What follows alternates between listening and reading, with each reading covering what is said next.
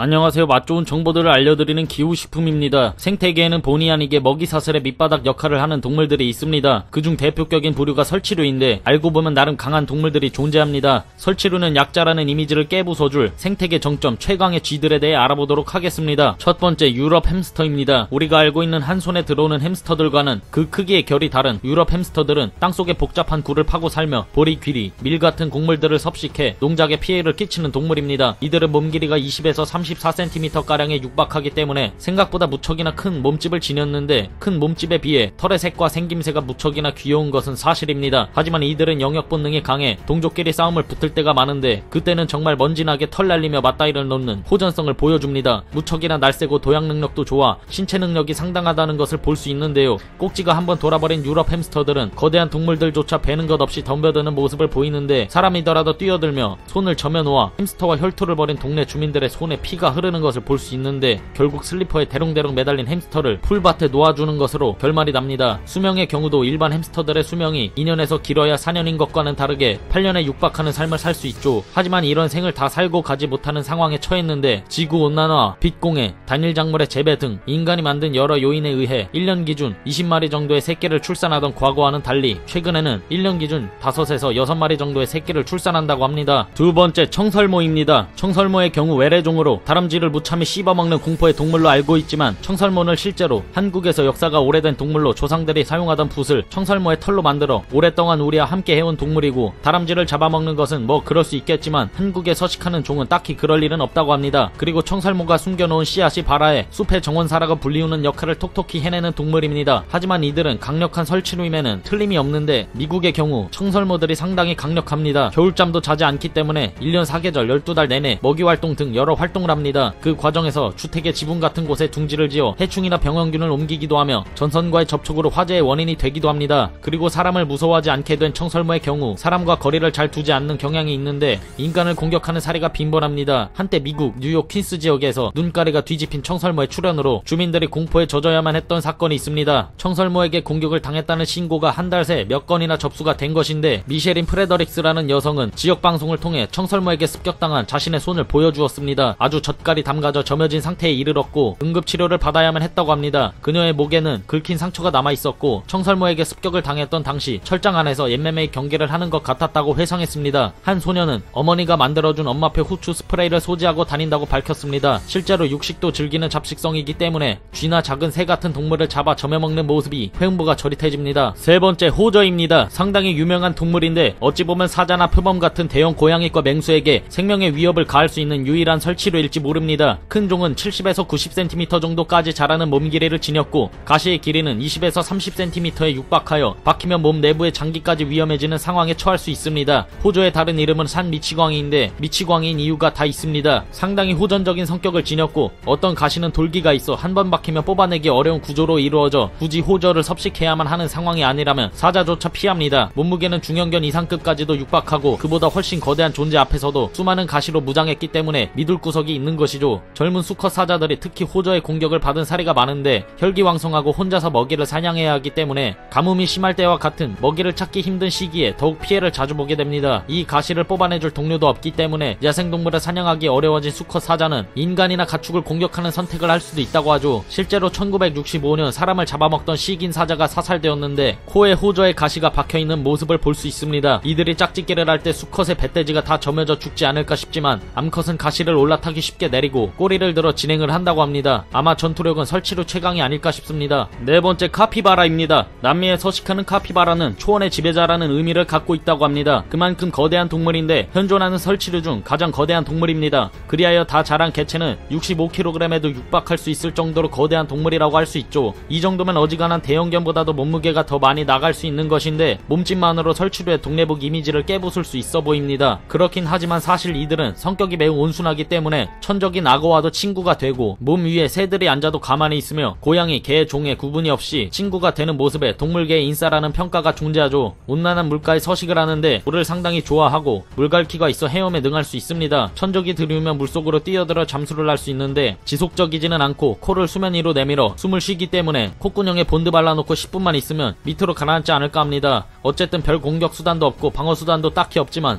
엄청난 체구로 생태계의 천적은 악어나 재규어, 하피이글 정도밖에 없을 정도로 몸집이 깡패인 것이죠. 지금까지 설치류는 약자라는 이미지를 깨부숴줄 생태계 정점 최강의 쥐들에 대해 알아봤습니다. 쥐는 강합니다. 구독과 좋아요 부탁드리고 자주 올라오는 영상을 빠르게 만나보고 싶다면 알림 설정 부탁드립니다.